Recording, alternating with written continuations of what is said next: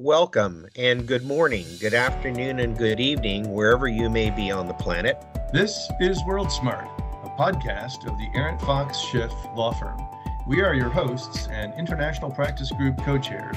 I am Hunter Carter. And I'm Malcolm McNeil. And we'll be talking with you with our partners and special guests about topics of interest in the law of the international business and business related communities.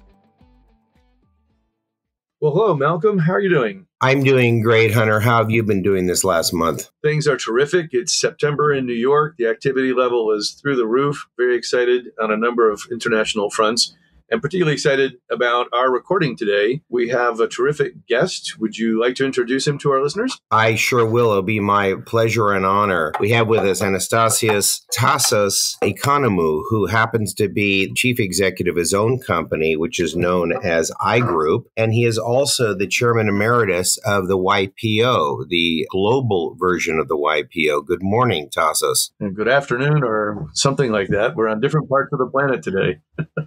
I think listeners have already heard us say good morning, good afternoon, or good evening, wherever you may be, because they're all over the place. So that's good. All greetings are accepted. Well, Tassos, first of all, it's great having you here. We're very, very happy you made time to join us here at World Smart. We've given you a little bit of a background, and our listeners know what we do. We have these meetings with our friends, colleagues, business associates, general counsel, other business leaders, and you were referred to us, and we were very, very happy to get acquainted. And rather than get right into your bio, I wanted to focus on one issue, and that is that when I was reading the bio, I was, I was quite impressed with the fact that you are the YPO chairman emeritus. Can you tell us a little bit about what that means? How did you get involved in the YPO? It looks like you accelerated on the ladder, and now as chairman emeritus, it looks like you put a good portion of your career into the YPO. Tell us a little bit about it and how it's impacted you. So, absolutely. I'll start by saying that I got involved like most things that are important in my life through fortuitous circumstances or what at the time appeared as an accident. Now, I had heard from YPO when I was starting my career from at the time the CEO of Burger King. He was raving about it, but you know, being young and naive, I thought, you know, I don't have time for this. I'm super busy running my business. Fast forward to basically 2005, I ended up attending one of the YPO events, and literally I was blown away with the level of conversation, the level of experience, and the idea exchange happening. And you know, when you run a business, it does tend to get lonely at the top. And having the ability to see that the problems that I was facing were not unique, but irrespective of industry, and this is interesting, and irrespective of country, very similar problems. You know, how do you scale? How do you find the right people? Financing issues, issues dealing with corruption at times. So a lot of the things that plague businessmen are actually similar the world round. The YPO, I think, is fascinating in that, you know, numbers are numbers $9 trillion of combined turnover, 22 million employees, 146 countries. But what I think makes it so fascinating is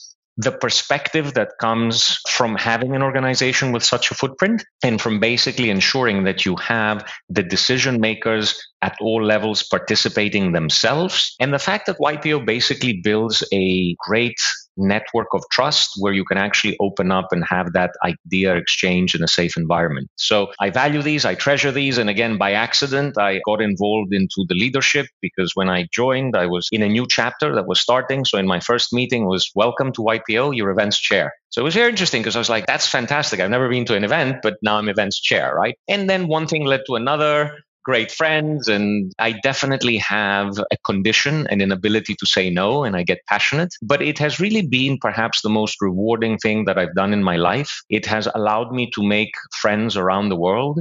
And literally now there's no place in the world that I go to that I do not have friends. And through that and building of these friendships, some amazing businesses have come together. But interesting in the order, I first made friends and as a byproduct, we did good business. I think that's very, very valuable because I'm past president of the International Association of Young Lawyers, and it was the same thing. You met in a social environment, but did your hard work, but at the same time, you developed collaborative friendships, which were what made you remember everybody, as they say on the reverse side of your card. Well, that's fascinating. Also, I tell everybody you're a volunteer until you volunteer, right? Once you volunteer, you've got a job to do. Hunter, would you like to kick it off with a follow up question? Sure, thanks. You know, what fascinates me, Tassos, about the level of your commitment to YPO is the reach of the organization, the number of members that it has, and everything else. Imagine that was probably a bit daunting at first. But for our listeners who don't know YPO, where is it, say, most active in the world? But also where are you looking to grow it? Where would you like to draw more attention and gain more members from CEOs? And particular, not just geographically, but are there kinds of CEOs, sectors, or whatever that YPO has been focusing on for its growth? So the YPO started in 1950 in the US. So by definition, it was the first market and uh, not by chance. It is the world's largest economy and an extremely pro business friendly environment. So that's where YPO started. Currently today, if we fast forward to 2022, about 46, 47% of our members are in the US. The remainder are global. If I look at areas that we're looking uh, to grow, obviously Africa is one. But apart from the obvious, what we are finding is more mature economies, such as perhaps Japan, Germany, or France, are actually underrepresented for the relevant size and importance in the world economy. And these are areas that we have worked in, we have improved dramatically, including places like Germany, right? And the idea is when we look to grow, we don't look to grow for the sake of growing. And that's interesting. You know, YPO doesn't need to grow. But what we are doing is we are looking to basically represent the global economy. So it's like a microcosm of the world economy. But what is even more important is to actually find people who not only meet our success criteria in terms of, you know, turnover, employees, age you need to have done it, but more importantly, also share the same values. So what I like to say to people is your level of business success is a necessary but not sufficient condition. I was watching one of the programs on the YPO website with a couple of fintech entrepreneurs from Africa. And I thought it was just fascinating to see these very dynamic young men who are really, you know, at the leading edge of the thought curve and putting their commitment behind their businesses, but talking to each other, really benefiting from gaining what they could from each other. You know, I guess a global organization like this inherently lives a certain kind of what we call DNI, diversity and inclusion. How much of a priority is it to you as a leader of YPO to try to generate that, to help to contribute to that within the organization? And how does it help YPO to enhance diversity? What kinds of diversity have really helped the organization? It's huge. And the reason why it's huge is even when you look at your business, if you're trying to do more of the same, you can become better, you can become best in class but that doesn't really move the needle. You're constantly marginally improving what's already out there. If you really want to bring novel thought into your business, you do benefit from doing just that. And I'll give an example. If you actually look at the way innovation happens, there's this myth that innovation is about an aha moment. You wake up and suddenly you have this brilliant, great idea. The reality, if we look at innovation, is that innovation usually comes across as people who take technology that's already available, but bring it together in a novel way.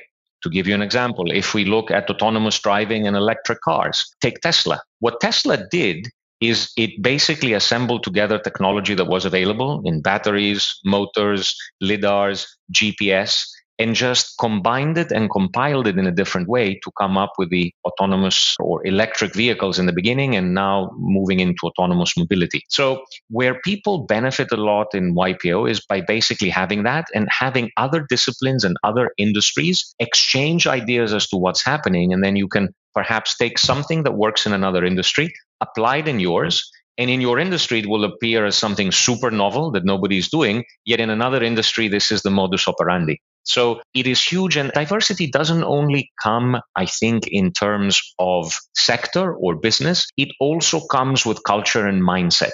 Things that work, things that you perhaps may have missed upon, and opportunity to do something differently. I'm glad that you focus on innovation. I saw a great line the other day. I was just trying to find it here who said it. Innovation takes inspiration. You need inspiration for innovation. And it sounds like that's exactly the point you're making about having folks around you that inspire you. Let's pivot to talk a little bit about your business. How has being in YPO inspired you to innovate in your businesses? Listen, I think it's huge, if only because I have so many intelligent people next to me that are doing wonderful things that you need to do something to feel you're, you know, you're part of the group. But a lot of things that we have done, and I pride myself is in actually listening and applying some of these things. So if I look at, at COVID, a lot of the things that came out of the interaction was there would be a lot of money coming in and being distributed basically to help us go past COVID and help businesses that went through tough times. And if I look at what we're doing at iGrow Venture Partners, we basically looked at what was happening in terms of the European Union and distribution of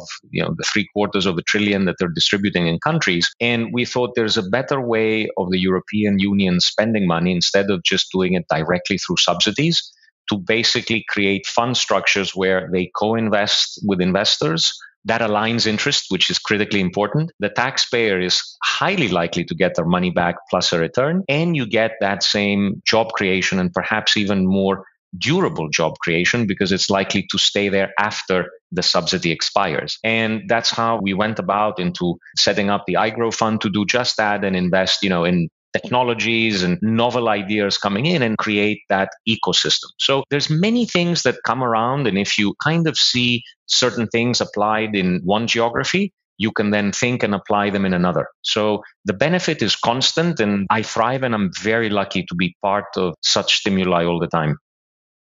So iGrow is a principally European VC fund, would you say? Correct, correct, correct. Uh, investing in technology in Europe and also in the US, because let's face it, the US has some tremendous ideas these days. What's the cutting edge for startups that VCs want to fund in Europe? Interestingly, I'd say it's no different to what is happening in the US. I think the difference between Europe and the US is VC in the US tends to be, I'd say, mostly 98, 99% US focused because there's so much opportunity. Whereas when it comes to Europe, you start thinking cross country. So you're more likely to be looking in the Scandies, in France, in the UK, and basically doing what? Finding also business models that tend to be more international and scale more internationally. So if you combine the two, and that's what we're trying to do at, at iGrow, basically either get US ideas that are working and bring them to the rest of the world, or take ideas from the rest of the world and bring them into the US, it kind of gives you an opportunity to do something different and create value that many times in the US is not the focus simply because the way the market is formed and shaped is the strongest sector right now, say fintech, or what would you say is the strongest sector that you're looking? I think fintech is very strong. We're starting to see a lot in artificial intelligence and how that feeds into quantum computing. Remember, we are, I was talking to Jack Hidary, the CEO of Sandbox AQ. We're in his words, two years away from actually having a working quantum computer. That said, just writing the code to interact with a quantum computer is expensive and takes time. So you have companies like Mercedes Benz already doing it and working on perhaps solutions for the new generation of batteries that will change mobility, right? So there's a lot happening on that front and what that means. FinTech is definitely right now making a very big difference because basically it's making a lot of the trades far more efficient. I think that banks have a role to play in funding, in investment banking, but not necessarily in many of the transactions that they're doing. There are now far easier ways of doing it. And especially if I start looking at the integration of Africa and mobile and the importance of that, I think sooner rather than later this is happening. We're seeing in China where you basically have mobility having taken over. It's coming in the US and Europe. So, yeah, fintech is definitely something that I think will go strong. Malcolm over to you. I was going to ask a question because I work with VCs. We're in California on my end of the practice, and we deal with Silicon Valley. And I was curious to know a little bit about what you're experiencing with what they refer to as the deal flow. Are you out there aggressively going after the deals and looking for opportunities, or are people banging on the door looking for money? I guess I know what's happening here a bit, but I'd like to know from your perspective what the difference is, if any, between the US and Europe in terms of how that process gets started? Yeah, so a few things have changed. Let me start by some similarities and some things that are global. It's a fact with interest rates rising and liquidity coming out of the system that indeed now it's becoming more of a venture capital market rather than a founder market. I mean, even if you look at valuations of big fintechs like Klarna going from mid 40 billion to about six and a half and repricing for a round. So that is definitely happening simply because liquidity that was abundant and basically almost free is now out of the system. Therefore, people are paying more attention to where their money is going into. And therefore, by definition, there seems to be an increase in the appetite of founders coming with more reasonable deals. So I'm not saying, and I'm not seeing that there's more innovation. Innovation and founders and new ideas are, you know, the way they always were, young and, and nice and vibrant. What has changed is where you can really cut a meaningful deal and what the terms are. If I go one step further than that, and something that we're seeing more in Europe and, and depends on the markets, is once you look in the US, say East Coast and West Coast, or you start looking perhaps at Israel, or you start looking at certain market segments, they're very crowded, right? And what that does is it beats prices up. Even in the US, if you're looking in mid America, it's not as crowded. So I think the difference is overall the next two years, I think are going to be very good for VCs that have the money to find good companies and enter with attractive terms. And on top of that, I always say try and look at markets that are not too crowded. When was iGroup formed? Back in 2007. Are you primarily a company that provides capital, or do you go the other way around, or is it a combination? So we provide capital, but I think that capital is a resource that was super abundant. It will always be available. And I think if you really want to make a difference, you need to provide more than capital. And where we pride ourselves, if you look at founders of our companies, such as Impact or Monese or a few of the deals we've done, you will see that what we tend to do is add a lot of value. We like to sit on the boards. We like to help with strategy. We like to open doors. And part of how we invest is we look at a sector. We decide if we want to be in that sector we decide if we want to be in a particular company. But one of the things we really do is before we make an investment, we make sure that we can add concrete value, whether it is opening doors to close contracts, whether it is bringing in talent that's necessary. And I think that perfectly aligns our interests with the founder's interests and allows for a good relationship to evolve, bearing in mind that it's never a straight line. And I have as yet to see an investment that was just rosy all the time. I heard one person put it identifying practical synergies. Does that sort of put it in a phrase? Absolutely. Absolutely. So, as a lawyer, we're hearing all kinds of opportunities arising. For example, in cryptocurrency, we talked a little bit about that the last time. Cannabis. Our firm is making a great push on the metaverse. And I'd be very curious to know we're one of the pioneers, if not the pioneer, for service firms, law firms in getting into the metaverse. I just came back from Singapore and we participated, our firm, in a presentation to the lawyers on the metaverse. Do you have any opinions or impressions? About where the metaverse is going to take us over the next five years? Yeah, I do. And here's the interesting thing I may not exactly know, but with a relative degree of accuracy in terms of probabilities, here's what we do know. As social media came along, a lot of people have come online, they're interacting. And I think the metaverse is the next iteration because it really allows you to build more than just a social profile online. And I think where it starts getting interesting, it's not just social, but it allows enterprise to come on board. So it really is creating a second life, a new, different different avatar or persona. So I think given human nature, the metaverse is going to continue growing. We may not be able to predict the exact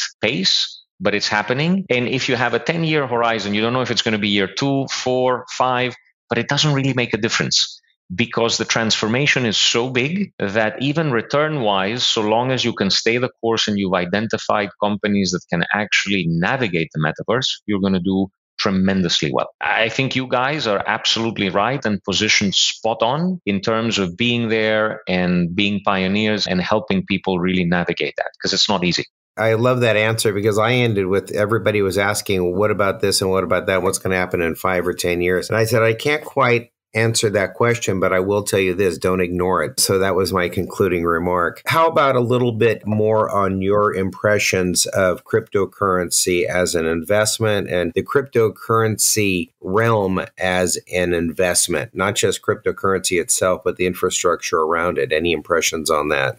Absolutely. I think it's a very interesting area. And let me start with big picture. Crypto to me today is pretty much like railways 100 and something years ago or the internet in maybe 20, 25 years ago, meaning to say the technology is here to stay and it will make a big difference and it is making a big difference in the way we operate. What is not clear and is very hard to predict is who the winners are going to be. Right? And people try to do that with the rail lines and especially when it came to the internet, which is living memory. I'm sure you remember a company called America Online, used to be huge in the 90s, right? But again, you don't know who the winners are going to be with crypto. But here are some interesting things that I think about crypto and why I think crypto is here to stay. First of all, what people are trying to do since way back when is to find something to retain their value right? Uh, it used to be gold before gold. It used to be pebbles. It used to be many things in history. And always humans have this propensity to find something that can store value and then be used as a means of exchange.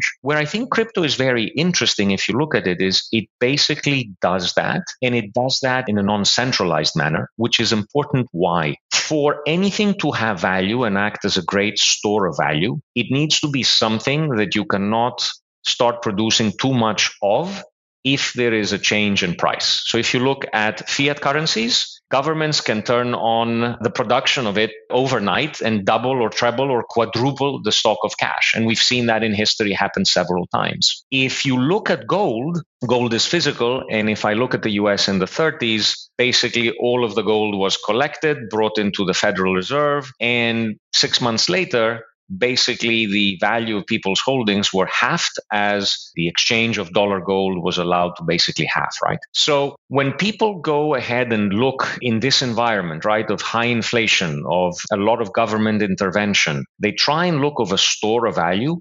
Crypto can serve as that.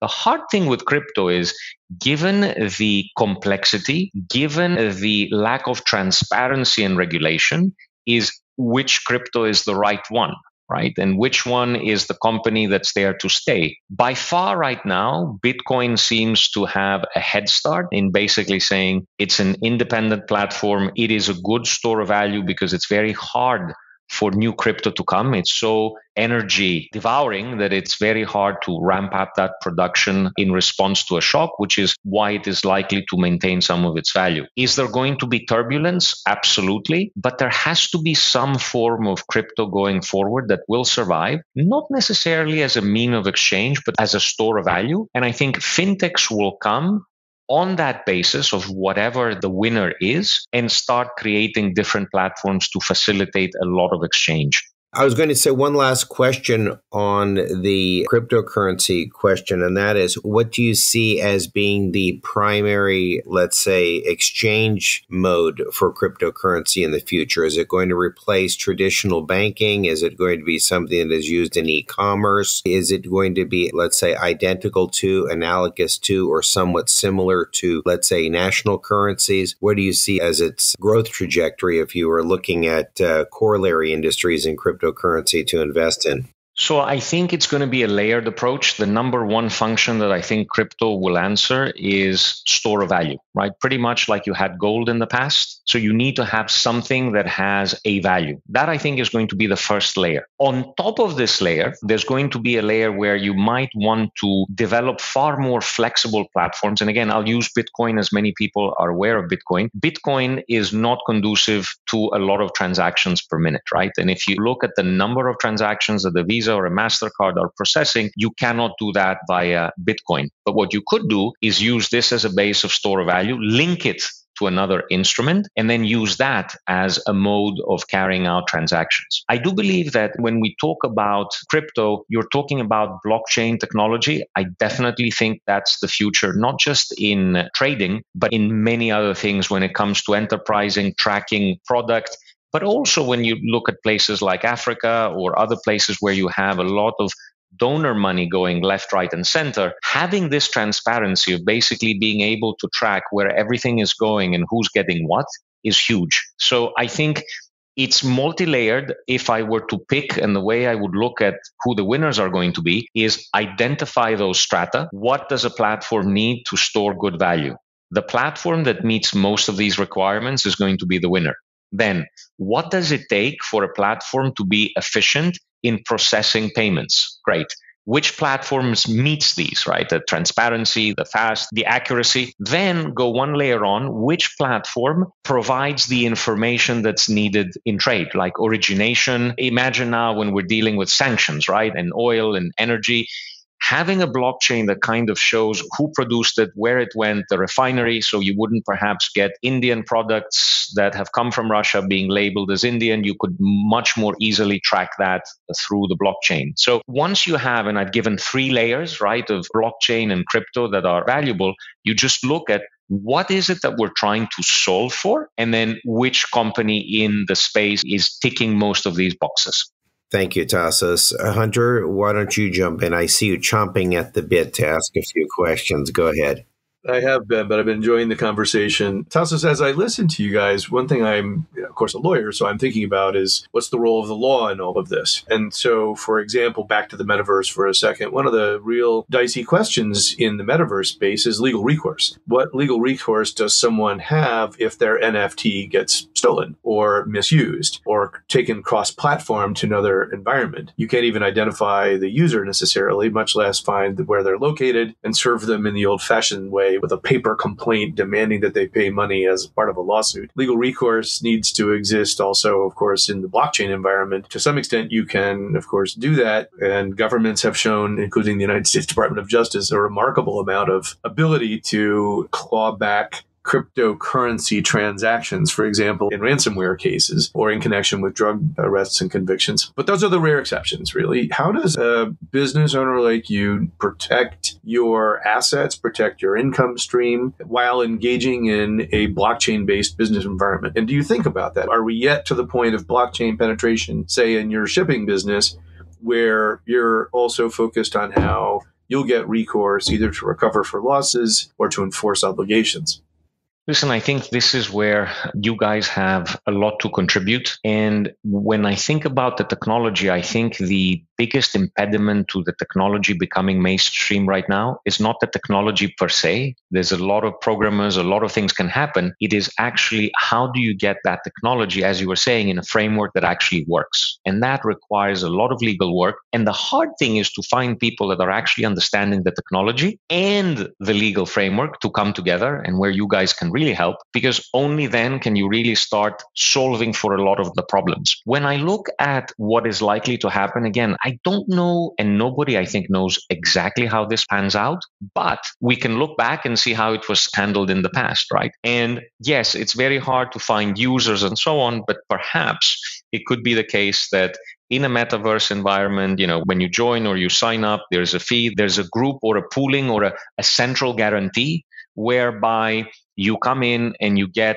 the ability to go and claim against that if there is fraud or whatever. And remember, the beauty with the blockchain is even if you want to do that years later or months later, every transaction of everywhere where this has gone is actually written on that string, right? And if there's one reason why the US government has been so successful with basically blocking transactions or reversing transactions is because it's there and you cannot alter that. So when they want to and they agree and they can go back, they can track it to the point in time that is of concern and work on it at that stage. So that is a huge advantage that you have in that metaverse blockchain universe. So if you combine the advantage of having that information there and you find ways whereby, you know, pretty much like we have guarantees in our deposits, right? You may get an actor failing, but at least there is the government coming in with a deposit guarantee. Similar, it could be government or not government. It could be Meta or another platform or the metaverse platform saying, listen, I am setting up that guarantee up to, and these are the conditions, and that will build the trust. So it's taking steps of how we have solved similar issues in the past and building on them that I think is going to be the solution. Well, I do appreciate that you recognize that the lawyers who are, unlike me, really specialists in this area may have something to contribute because as I've walked through with what our firm is doing, having acquired space in the metaverse, space that we're going to build out, space that we're going to use for events, for meetings, for sharing of information, for the displaying of art, of discussions of trademarks. You know, there's a fascinating series. It's almost like going back to the first day in some ways, but in a new world for how, you know, even trademarks are being enforced or are being used. Your avatar may put on a pair of very unique sneakers and the company that owns the trademark on those sneakers is going to say, but wait, you're now using my trademark and don't you have to pay me for that? And the response would be no, if I bought a pair of the sneakers, I'm not using your trademark. That's so called first use doctrine is being litigated right now. But there's also issues where innovation is going to be needed, where if you have an NFT for art on the wall or a, you know, an immersive presentation of some kind, and it's so attractive or so interesting that someone figures out how to hack it and it's used, it's borrowed, but in another platform, then the fact that you're in the platform where we bought metaverse space, like Decentraland, will be useless to you. You won't be able to enforce cross platform. So there's, I think, going to need to be some room for that. And also in the disclosure sector side of things, you know, uh, investors who are looking to maybe build out space in the metaverse or clothe your avatars and whatever else, there are going to be investors in those businesses who want to know what the risks are. How's it going to work? And it's very hard, very early at this time uh, to say that. But I think that's also the exciting thing. I look at Malcolm mentioned cannabis. I think if you had talked to people about the legalization of cannabis a few years ago, you'd have imagined something where users who smoke marijuana and buy it from an illegal distributor will now buy it from a legal distributor. But what in fact happened very differently is that a wide variety of new products for a wide variety of uses have been introduced. It's created an entire different ecosystem. Mobile telephony created not only communication, but personal access to lots of technological services. So when you look at all of that, I'm, I'm glad you see the role lawyers can try to play in innovating it. But let me put the question to you slightly differently. What do you want lawyers not to do? How do lawyers get in the way, or how does the law in the current, in the real world, get in the way that needs to be removed or refined as we move to a more metaverse type uh, platform? Yeah, listen, it's interesting because at times many people blame lawyers for a lot of things. You guys are complicating or you guys are not making the deal happen. But on the other hand, and at the same time, you're like, just make sure that nothing goes wrong. So on the one hand, you are tasked with basically covering every eventuality. But at the same time, you need to make it very simple, which is not necessarily easy because what you guys come across is basically trying to cover the unforeseen. And I think that skill set that you've honed over the years is going to be very relevant in the metaverse. And what I would like lawyers to do is at times there needs to be some common sense in that, yes, many, many things will happen, but let us make sure that we cover 98% of the issue and we cover it solidly in a working manner. Because if you go for 100, well, 100 probably will end up being just don't transact and then you're 100% covered, right? So in anything we do in life, even waking up, right, and opening that door and getting out in the street, you're taking risk. You don't know if you're going to come back. Now we assume we always will, but you can have a heart attack, you can have an accident, you can have so many things that can go wrong, right? So yeah, we can try and factor everything in, but I think this is a fluid environment. A lot is changing. So I would say let's go after the big picture and big issues that we need to start working and then start refining our way down. And I think this will be helped by the fact that pretty much in everything digital, size matters acceptance of a platform. So yes, the metaverse is big, but I think sooner or later it will most of it center around a small number of platforms, right? And we've seen that in mobile phones, it's iOS and Android, and so on and so forth. So I do believe that yes, there's many issues in the beginning. There will be tremendous number of platforms doing little things, and then as this matures, it will come together again to provide more of what is necessary for it to scale. So if lawyers basically along that way can kind of play along in terms of understanding we're covering the important things, the things we don't know, but it is good enough for it to function and take it to the next stage. One quick last question on lawyers and stuff, and then we'll turn it over to Malcolm to wrap up. I wonder what, stepping back now from this topic and going just into your everyday business, the agro business, the businesses that you invest in, what is the number one legal headache that you face? Is it tax? Is it logistics? Is it enforcement of intellectual property rights? tax, I think, is actually, believe it or not, one of the easiest because you factor in your calculations paying a little bit more, and that's okay. The biggest problem that I have is when it comes to enforcing of operating contracts and how complex the various series tend to get with your anti dilution rights and then who's coming in and layering one series on top of the other, different lawyers involved. And then it becomes very, very complicated, right? So at times, what we try and do in our investments is somewhere along the road is to kind of simplify the cap table because it tends to get very tedious and difficult. Tassos, one last question. Malcolm and I are both international arbitration lawyers. We'd certainly benefit, as would our listeners, from hearing if you've had some experience with regard to the kinds of issues you just raised with international commercial arbitration. And if so, what's your feedback? For me, arbitration is a blessing. And it's a blessing because it actually allows you to solve issues in a shorter time frame. And mind you, you don't always get what you're looking for, but no is an answer. So the one thing that kills business and many people fail to see is even if you get a negative answer and it's done and you lose something, well, it's done and you can move on. What really we have found drags on and has been detrimental to a lot of businesses is that state of, well, we don't know, we're appealing and it's taking longer. And basis what decision we get, we'll then come back and revisit the business plan. So I think having an efficient arbitration where you can go in. There's clear stipulation as to how everything is adjudicated and what are the parameters, and getting prompt responses, I think, has tremendous value. I'll come over to you to wrap it up.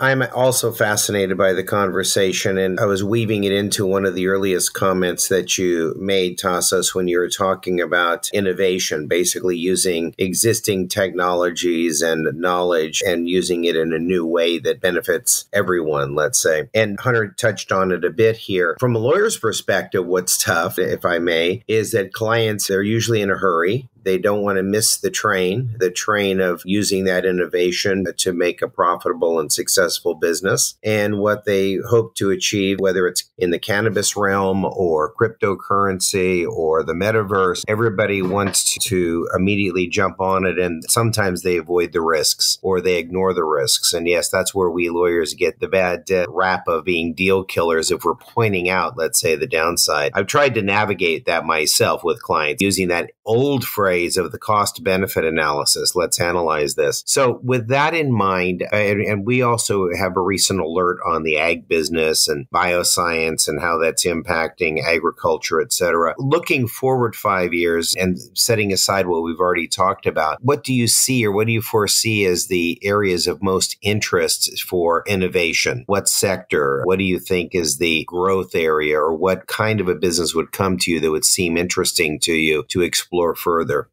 Yeah, I'd say two areas. One is healthcare because we are all human, we are finite. And no matter what we're doing, we will always have health issues. So anything addressing or improving health, whether it is you know the obvious cancer treatment which has been around for so long. That's a big one. But also many of the autoimmune many of the dna related diseases. So anything to do with healthcare i think is always going to be a priority. Because even if you're automating even if digital is coming you have physical human beings. They need to be healthy. They need to eat. And that is a reality that no matter how digital you go, you always have to address. And the second thing that we touched upon earlier on, I think, is fintech and all this you know when you bring together the crypto the metaverse the the bringing together and how we are transacting in the physical and eventually in the metaverse i think is something that is of interest. Why? We are at this particular point in time in history where the model is shifting and the institutions that have served us well until now part of the role i think is becoming obsolete and is ready to be taken over by new technology. And i think they will pivot into core areas of lending and so on. So these are two areas that I think looking forward will be of interest for sure for the next five years. Excellent. And I'm going to throw you one last curveball, as we say in baseball, and that is what is your impression of NFTs? You know, I have clients coming to me very skeptical, and I have others that are very enthusiastic. And of course, we know the upsides and downsides. The upsides, it's creating a new market, which, of course, for us lawyers, is creating a whole host of issues that we have to advise clients on in terms of IP protections, protection for the asset, avoid forgeries, et cetera, et cetera. And the other side is, no, it's just a new art marketplace, and it's something that people are going to be able to do to protect their investments and to have them protected on the chain. What are your thoughts? what I like to say is I think NFTs are neither good nor bad. It actually depends on the use. And the analogy I give is, you know, a knife. You can use a knife to clean food, prepare, or you can use a knife to take somebody's life, right? The knife itself is neither good nor bad. It's a tool, right? It is how we use it. And when it comes to NFTs, a lot will depend on how it's used. And I'm afraid to say, perhaps because it's so young, as a technology and uh, there's no guidelines and people don't really know how it works, it is far more ripe to abuse. And it is happening. It's being abused for many reasons for scams, for money laundering, perhaps, for many of these negative reasons. But I strongly believe in NFTs. And I'll give you an example. Even when we look at the social component of that, you get an artist, right? The problem with most artists when they're alive is that they're alive meaning to say they can produce more works. And if you can produce more works, your supply goes up, so your price goes down. Therefore, you see that most of the artists actually really make money after they pass away, right? Which is not great for them. It's great for us in the art market, but not so good for the individual. Now, with NFTs, you can do a number of things. A, you can actually create a finite supply of something right? B, what you can do is unlike the past where an artist made a painting and let's say he was unknown in the beginning, sold it for a thousand dollars, 10 years down the road it was worth 15, he only made that thousand dollars.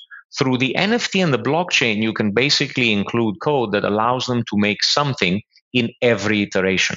And that is huge. And it's not just huge when we think of, you know, the US or Europe. It is huge when we start thinking of more remote areas where artists do not have access and they cannot make a living. This, I think, will transform art and artists and the ability of them to come across. The second thing that I think NFT does and is huge is right now, if you own expensive artwork, you have to insure it, very hard to transport it. You are terrified where you showcase it in case somebody burglars into your house and steals it. When I'm dealing with NFTs, imagine I take a Picasso, right? I have an NFT, which means I can take the technology with me wherever I am. I can project it, and there's nothing to carry or be afraid of because I own it. It's in the NFT, but I can actually now start using that NFT wherever I am. And I think that second iteration, because now we think of NFTs as lousy JPEGs that you can see in a computer.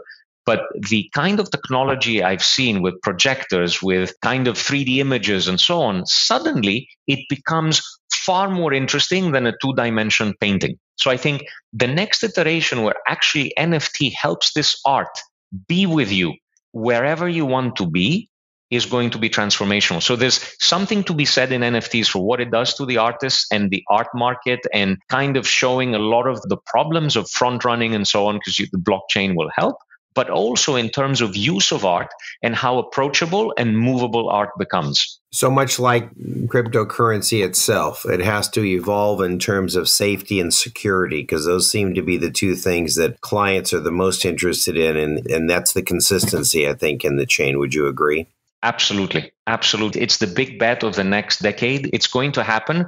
The hard thing in this process is identifying winners. I think this is where, you know, the legal profession is going to be critical in terms of helping shape that. And I always want to reiterate that and say that to your listeners is try and think what the technology is solving for and that is how you select winners in those areas. Stop looking at, oh, this company is great because it's amazing and it's doing great marketing, but actually ask that question behind that, which is, okay, what is the real need they're addressing? And why is it that this company is addressing it in a better way than anybody else? Well, I think that's a pretty good place to end on, which is why is our profession so important? So, yes, Hunter, I think that with that in mind, I would say to you, Tassos, thank you so much for being with us. It's been illuminating. It's actually energizing. I mean, uh, you're giving me a whole series of things to think about and some additional talking points and queries for clients. Hunter, you have any closing thoughts?